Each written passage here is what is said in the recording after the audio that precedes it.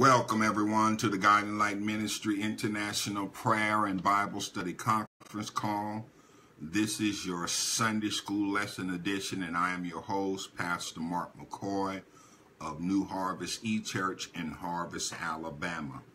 We welcome you to the broadcast this morning, and we hope that all is well. This is the day that the Lord has made, and we will rejoice and be glad in it. It is a day we've never seen before and a day we'll never see again. And as always, we believe it is a day to praise the Lord. Oh, hallelujah. Thank you, Lord Jesus, for this wonderful and marvelous day. I hope you had a great Thanksgiving weekend and enjoyed your family and gave God thanks for all that he is and all that he does. Amen. Amen. We are now less than a month away from Christmas. Oh yeah, and I know everybody is, is excited and getting ready for Christmas. Those that are going through various situations and past remembrance of, of loved ones during the holiday, we, we pray God's peace upon you, that he touches you and, and give you uh, his peace, the peace of God that surpasses all understanding. And then not only that, we pray that he fills your heart with joy. Joy, unspeakable joy. Oh, hallelujah. That, that even though when you remember those that have gone on to be with the Lord, you will remember that the Lord has them and that God also has you. Oh, hallelujah. Amen and amen. Let us go to the Lord in prayer. Dear Heavenly Father, we just come right now thanking you for being God and being God all by yourself. We thank you, Lord, for this opportunity to spread your word. It's only by your grace, your amazing grace, that we are able to just sit and call out and talk about and speak your word. Thank you for your grace. It's the means of your grace that we are here, that we're able to walk, talk, and have our being in you. And we thank you right now, dear Lord. We ask you right now to bless this technology of Facebook and conference calls. Lord, we thank you for this technology and we pray that it be used to your glory and to your honor. We plead the blood of Jesus over it right now. We plead the blood of Jesus, the Heavenly Father, over everybody on this line and everybody that's going to listen to this recording later. We ask you, Lord, that you touch them, touch their families, touch their communities. We plead your blood over every circumstance and situation in their lives. Anoint someone, the Heavenly Father, with your your your your your your, your servant attitude, that they might serve this present age, the Heavenly Father, that they might reach out to those that, that don't know you in the pardon of their sins, Lord. It is better for us to to, to reach out to the down and out than to, to be always trying to reach up to those that are rich, dear Lord. You honor those that that that that don't have, Lord. And when we reach out and touch them, you truly bless them. So so Lord, we just thank you and we just praise you for this this this moment that we have together. Now, Lord, let the words of my mouth and the meditation of my heart be acceptable to you, O God. You are my rock and my redeemer. In Jesus' name we pray. Amen and amen. Our lesson today, our lesson today comes from 1 Corinthians chapter 11. 1 Corinthians chapter 11, starting at verse 23 going all down to verse 34. 1 Corinthians chapter 11, starting at verse 23. Um, this lesson is titled Remembering the Covenant, or, or, or you could also say what Jesus uh, did for us. Uh, this is the institution, if you will, of the Lord's Supper, uh, as written by Paul to the church at Corinth. And so let us begin reading. I'm reading out of a New King James Version of the Bible. And it says, For I have received from the Lord that which I also deliver to you, that the Lord Jesus, on the same night in which he was betrayed, took bread. And when he had given thanks, he broke it and said, Take, eat, this is my body which is broken for you. Do this in remembrance of me. In the same manner, he also took the cup after supping, saying, after supper, and saying, This cup is the new covenant in my blood. This do as often as you drink it in remembrance of me. For as often as you eat this bread and drink this cup, you proclaim the Lord's death till he comes. Verse 27 Therefore, whoever eats this bread or drinks this cup of the Lord in an unworthy manner will be guilty of the body and blood of the Lord. But let a man examine himself. Let a man examine himself. And so let him eat of the bread and drink of the cup. For he who eats and drinks in an unworthy manner eats and drinks damnation or judgment to himself, not discerning the Lord's body. For this reason, many are weak and sick among you. Many sleep. For if we who judge ourselves, we would not be judged. But when we are judged, we are chastened by the Lord, that we may not be condemned with the world. Therefore, my brethren, when you come together to eat, wait for one another.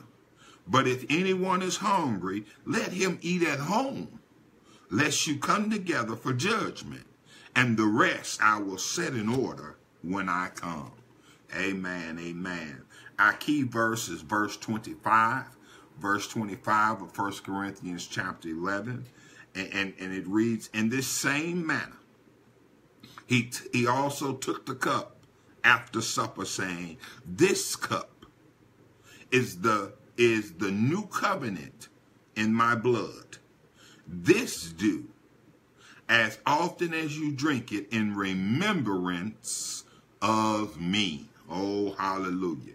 And so today, our key concept that we're going to be looking at is it's important to remember what Jesus did for us on the cross. It is important for us to remember what Jesus did for us on the cross.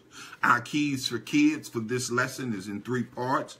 God did not have to sacrifice his only son to pay for our sins, but he did because he loves us. Number two, this gift from God is not something we have earned, but something given by his grace and his grace alone. Number three, we should always praise God for the great blessings that lets us go to heaven and enjoy living with him forever and ever one day. Oh, hallelujah. And so as we break down this lesson today, we're going to look at it from uh, um, our learning facts. Uh, we're going to learn the true meaning of the Lord's Supper. The biblical principle that we're going to lay out in this is to explain Jesus' uh, identification of his body and his blood with the with the bread and the cup, respectively, and then the daily application that we want to take from this lesson is is to to to create and implement a personal strategy for self-examination during the Lord's Supper. Oh, hallelujah. Hallelujah. This is a wonderful lesson, and we're going to break it down into two parts the meaning of remembrance and then the implications of the meal. The, the meal of remembrance and the implication of the meal. Um, this this this um, lesson has great background to it because we know that the church at Corinth um, was a fired up church, but it was also a church that that had came from a mighty long way. They they were uh, uh, dealing with a whole bunch of mess in the area of the Corinth of Corinth, and so when when they accepted Jesus Christ, it was hard for them to shake some of this stuff off. And and so this this this this this problems, they had many problems and and Paul wrote to them to kind of address all of the problems that they were having. And so here was a problem going on with the Lord's Supper. Many would come to, to the church and, and come together for fellowship, and they would eat uh, the food up, and then they would also drink and get drunk. And Paul wanted to put this thing in order they were in disorder and in disarray. And Paul, Paul had heard about this and he wanted to put this thing in order. And so that's that's the, the context of, of, of this lesson. But but when we when we deal with this uh, the Lord's Supper, what we call Holy Communion, we we have to dig a little deeper into to to what its significance are is and what others have dealt with over the years. And so turn back with me for just a minute and and and go to the 17th verse in chapter 10. The 17th verse in chapter 10 and and um, um I'm I'm gonna go to, to, to the 16th verse also. Let me go to the 16th verse of chapter 10 of First Corinthians. The cup of blessing which we bless is not the communion of the blood of Christ. And this is a question. The bread which we break, is it not the communion of the body of Christ? Okay? For we, though many, are one bread and one body, for we all partake of that one bread. Oh, hallelujah.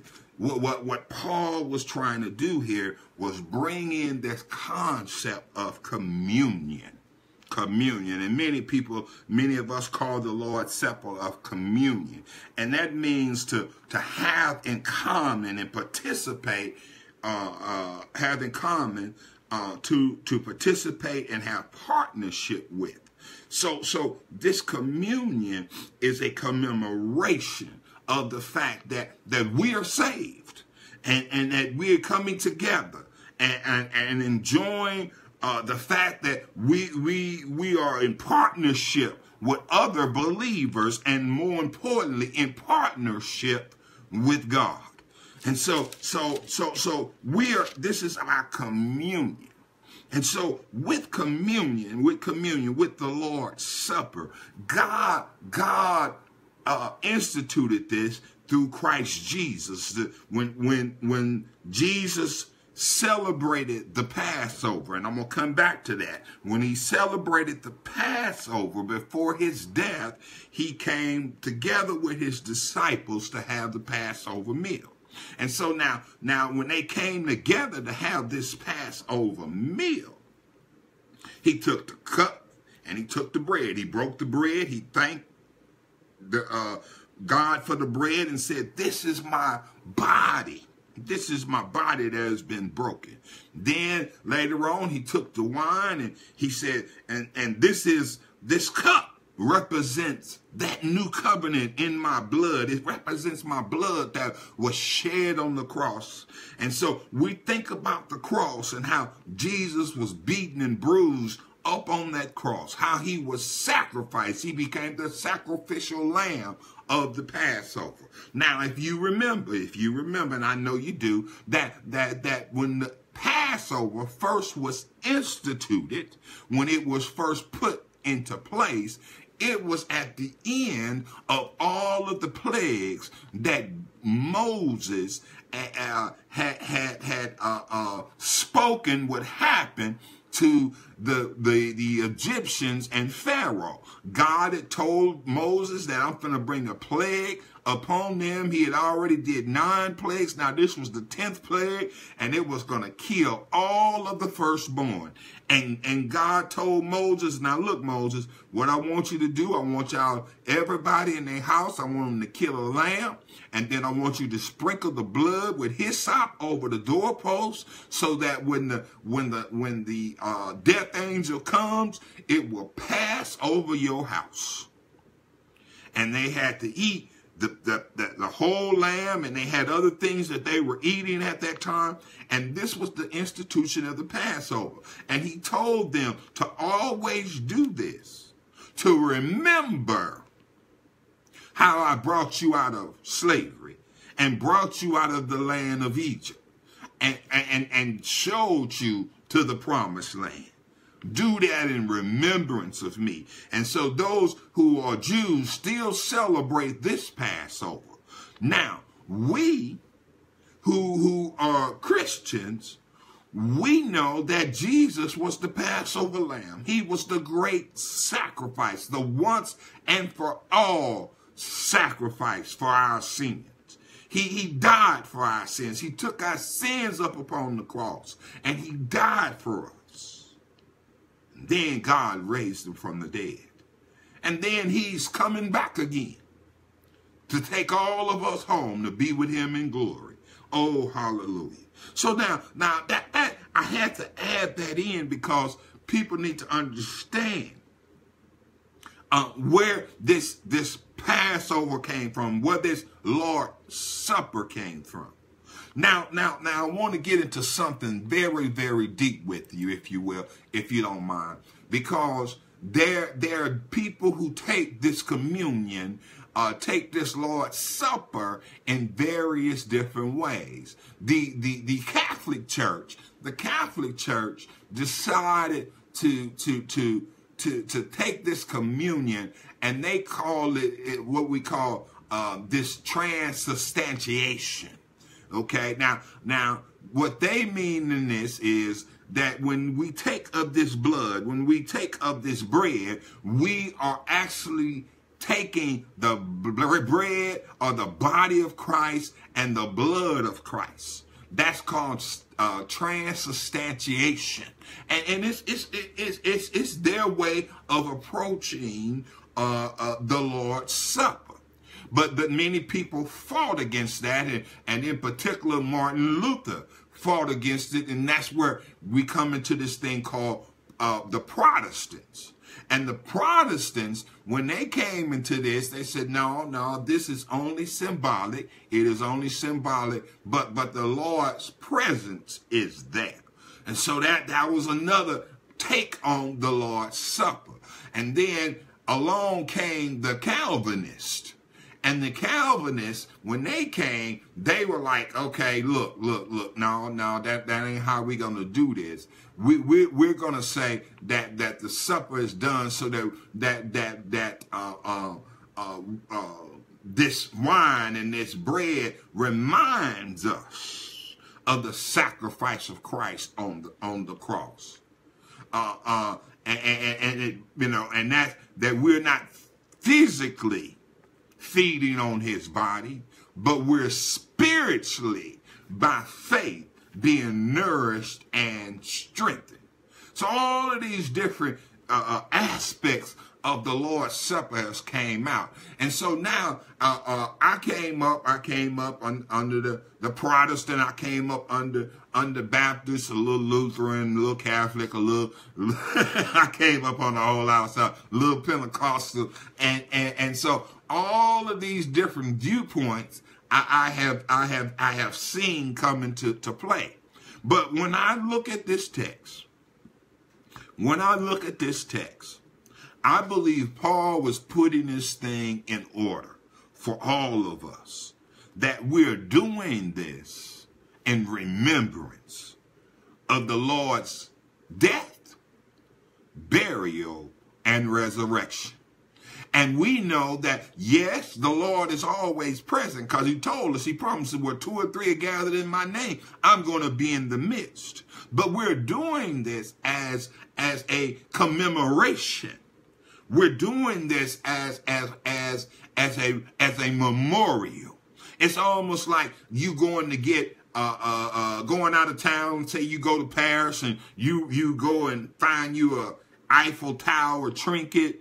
Uh, uh, and you bring it back home and you put it on your mantle to always remember that you went to the Eiffel Tower and that you and that trinket reminds you of that great and glorious trip that you had to Paris. But but but but the Lord's Supper is is that trinket, but it's more than just a trinket.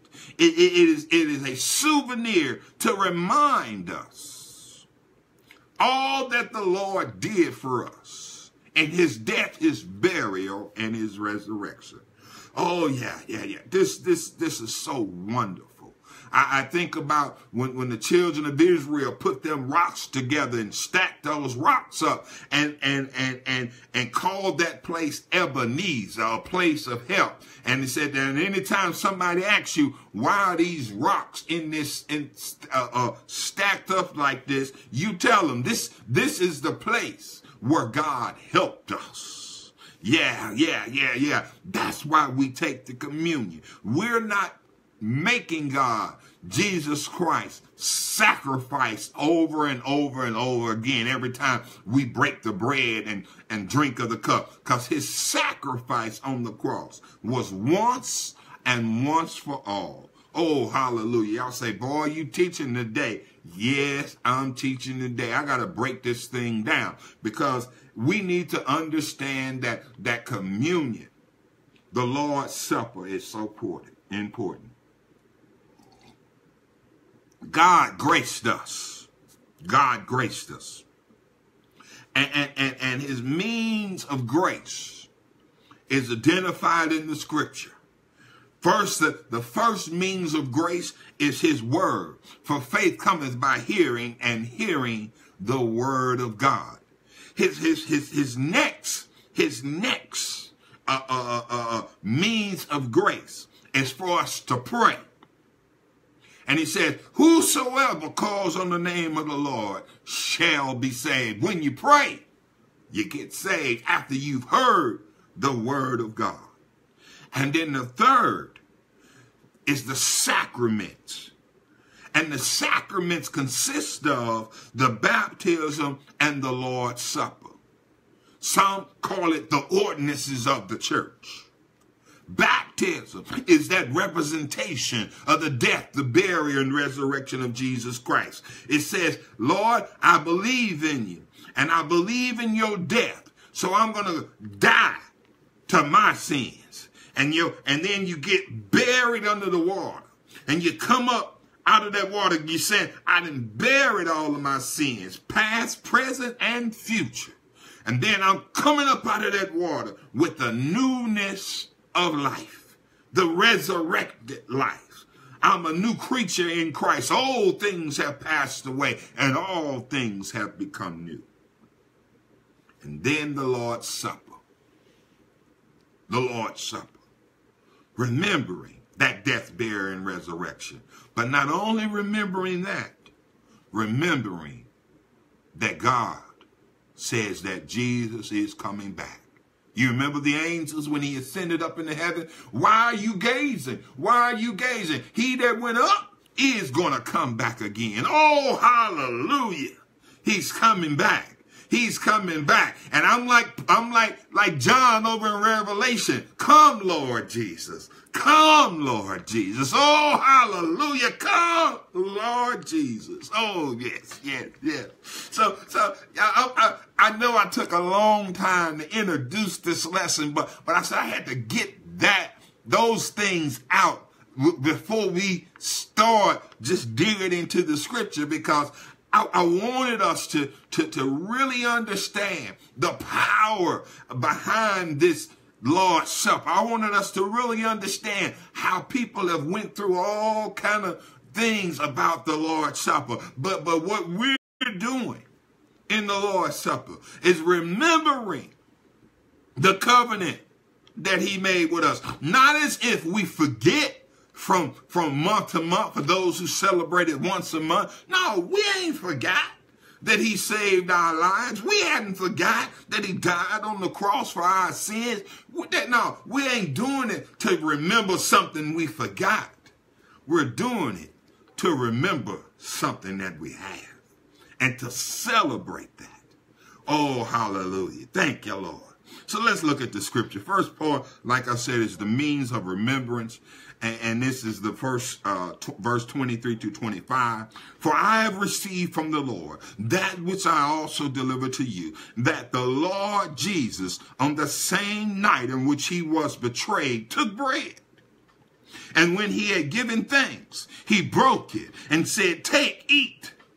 This is my body, which is broken for you. Do this in remembrance of me. In the, in the same manner, he also took the cup after sup, saying, This cup is the new covenant in my blood. This do as often as you drink it in remembrance of me. It is a time of commemoration. It is a time of, of, of, of, of solemn celebration where you, where you remember what God has done and you commemorate it. You come together. Yes, this is the day of communion. Yes, this is the day of the Lord's Supper. Yes, I want to worship him. I want to praise him and remember all that he has done for us. I remember and I and this is kind of funny. I remember my youngest daughter. She said, I'm not turning three until I go to Chuck E. Cheese.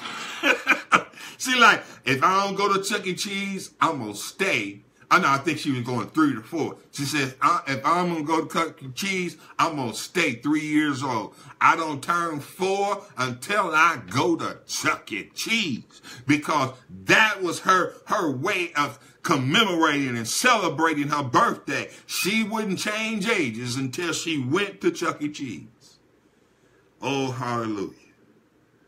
We, we, we ought to commemorate the Lord's Supper like that three-year-old did, turning four. I, I, I just ain't right unless I worship the Lord in spirit and truth through his communion. But not only is it a time of commemoration. It is a time of contemplation. We have to remember that that that that that that night, that same night when when when Jesus first did the Lord's Supper, he was betrayed by Judas. And later that night he was betrayed by a kiss. Oh, hallelujah. Mercy, God. And we have to contemplate everything that the Lord went through on that night because he was bruised for our iniquities. And the chastisement of our peace was upon his shoulders. By his stripes, we are healed. And so we need to contemplate those things. But not only do we commemorate them and contemplate them, we ought to also know it is a time of identification. Yes. When, when we take of the body and when we take of the blood, when we when we eat the bread and drink the, the, the, the cup of juice or cup of wine, whichever is your tradition, we're doing this to say that we are part of the family. We're communing with those who participate in the great salvation of the Lord and eternal life. It's a part of identifying that I'm part of the, the body of Christ. I, I am his and he is mine. Oh, hallelujah. I am a child of the king. I am more than a conqueror through Christ Jesus. I can do all things through Christ. Yes, yes. And he's going, going to bless me exceedingly and abundantly above all that I can ask or think of through the power that's working in me. He that is in me is greater than he that is in this world. I have an identity. I, I'm, I'm the head and not the tail. I'm blessed going in and I'm blessed coming out. That, that, that, that's, that's, that's your identification as a child of God. And when we come together for communion, it's like us putting on our badge, putting on our suit, like putting on our ID and saying, I am a child of the living God. It's a time of identification. That's what the meal of remembrance is all about. A time of commemoration, a time of contemplation, and a time of identity.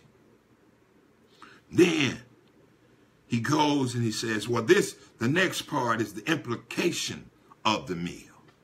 The implication of the meal.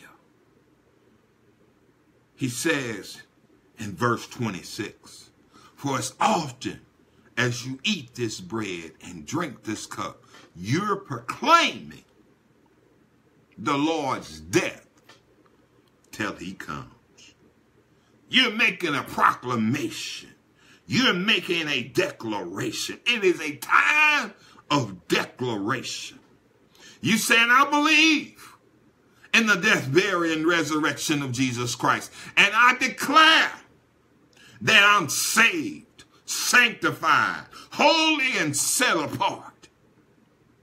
And I'm set apart, signed, sealed, and delivered until the day he comes back to get me. Oh, hallelujah. I don't know about you, but that just makes me happy.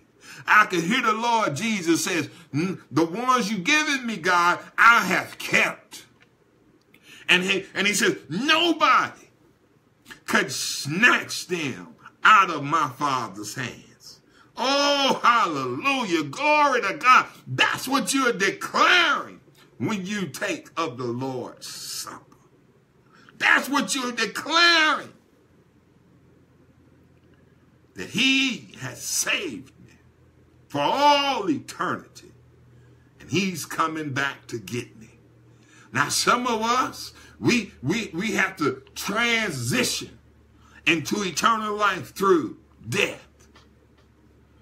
And then there's others, he told us, that when I come back, the dead in Christ gonna rise first. But we who are alive, we're gonna get caught up in the air with him.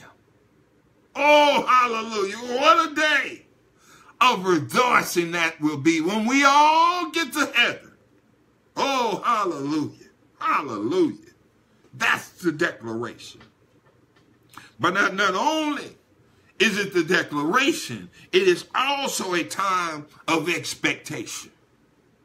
I, am sorry, y'all. I, I, love I love being down here. I'm like Paul, uh, to live as Christ and to die as gain. I love that God uses me in mighty and, and marvelous ways. I'm I'm His instrument. I'm His servant. I, I love that. I mean, it's just it's just so wonderful to think that a God God would use an old wretch like me. Oh, thanks be to God. But I stand on tiptoe anticipation for that day when I get to heaven, where I can see him face to face. Because right now I see through a glass dimly. But when I see him, I'm going to see him and I'm going to know everything that God has in store for me for all eternity. And I stand on tiptoe anticipation, expecting blessings over and over because he keep on blessing me. Oh, hallelujah. And finally, the implication of this meal is a time of examination. Now, some folks say, well, you should have read that part uh, first, Nick, because you don't want to end on a bad note. But I'm sorry, this isn't a bad note. You got to examine yourself. We all have to examine ourselves because there's a blessing when we examine ourselves. Listen to the text, verse 27. Therefore, whoever eats of the bread or drinks of this cup of the Lord in an unworthy manner will be guilty of the blood, body and blood of the Lord. But let a man examine himself, so, so let him eat of the bread and drink of the cup. For he who eats and drinks in an unworthy manner eats and drinks judgment to himself, not discerning the Lord's body.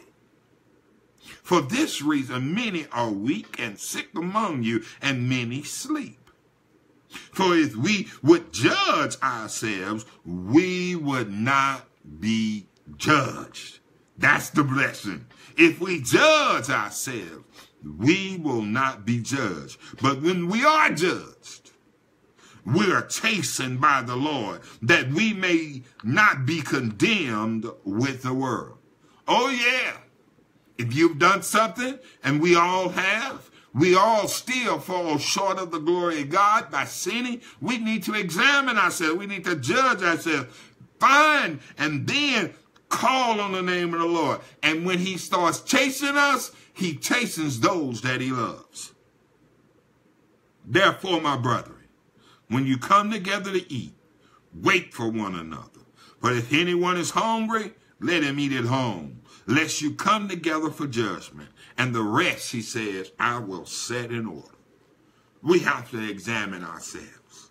We have to have to let the Lord know that we understand how we've fallen short. That's why he says in First John chapter 1, verse 9, confess your sins. God is faithful and just to forgive you of your sins and cleanse you of all unrighteousness.